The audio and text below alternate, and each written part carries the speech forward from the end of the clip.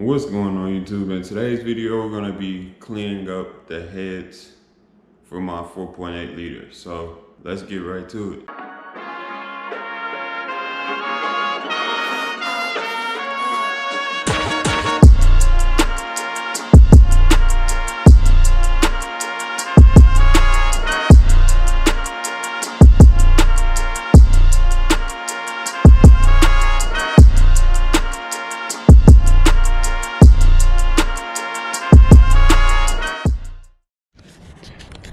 Before I get started, I just wanted to show y'all what that stuff did. It literally ate up all of the carbon buildup off of these heads. That is insane.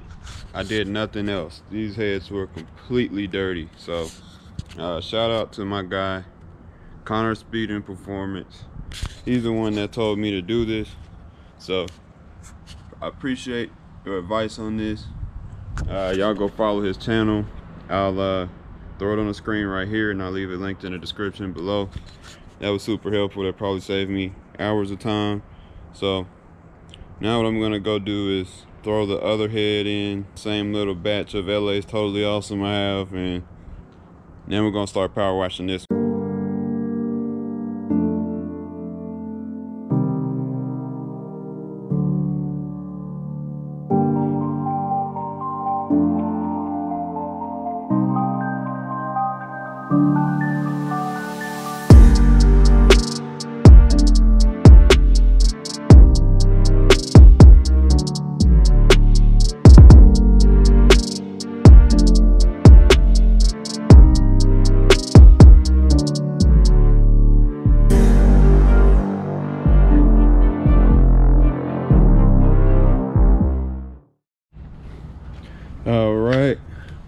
look how clean this head is now. I still got a little work to do but that is a lot better.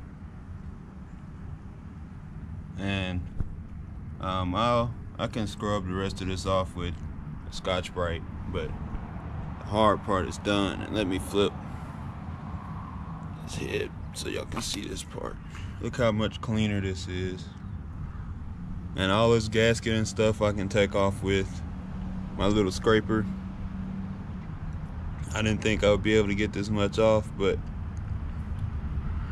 this is almost ready. So uh, last thing I'll probably do is take those springs off and clean on the inside of the valves. But that can be next time. That's something I can do off camera. So um, this head is pretty much done for now. Uh, pretty much got it how as clean as I wanted to be. I didn't think it would take this little work. I know I did leave a sensor or two in, but honestly, I'm replacing all my sensors. I don't even want to take the risk of putting this motor back together and the sensor being bad. So I think this is good to go. Um, go ahead and get the other head because it's been soaking since I started on this one. And it wasn't nearly as dirty so should be the same process so let's go ahead and get right to that so I just want to show y'all before I start on this one this soaked for about um, I want to say maybe 20 or 30 minutes. And that LA is totally awesome and look it's just getting the carbon right off so. That stuff is amazing. And let's go ahead and get started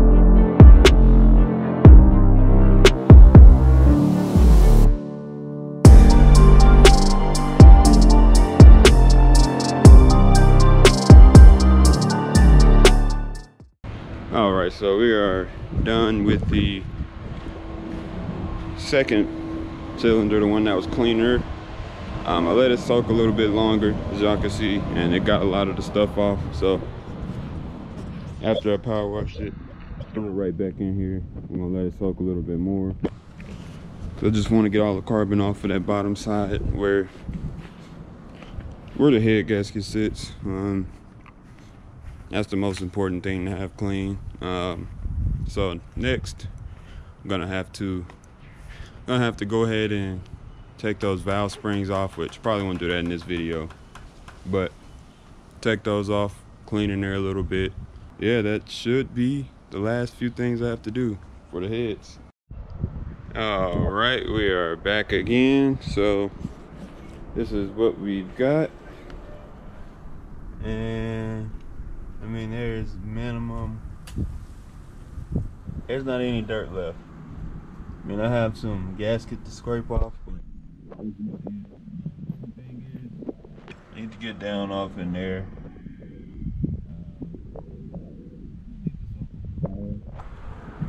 And on the other side, the uh, runners have a little bit of dirt on them. So, I mean, not a huge deal, but I didn't record me taking it out of this solution and soaking it again.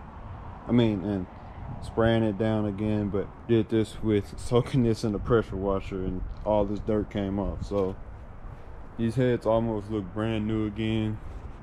That's what I was going for. That's gonna do it for this video. Um, this worked great. Glad I went with the LA is totally awesome. That was recommended. I don't have the bottles. They're already in the trash because I used them, but you can find them at any dollar store. And yeah, so thank you for recommending that Conner Speed and Performance again. That was definitely it. And I'll use this to clean everything else that I need. So hope y'all enjoyed this video. Hope it was helpful.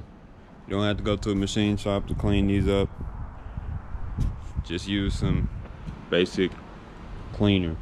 LA is totally awesome. Soak it, let it sit overnight. This is how it'll look. So hope y'all enjoyed it. Um, that's gonna do it for this one. Like the video, leave a like, subscribe, hit that bell, and I will catch y'all on the next video.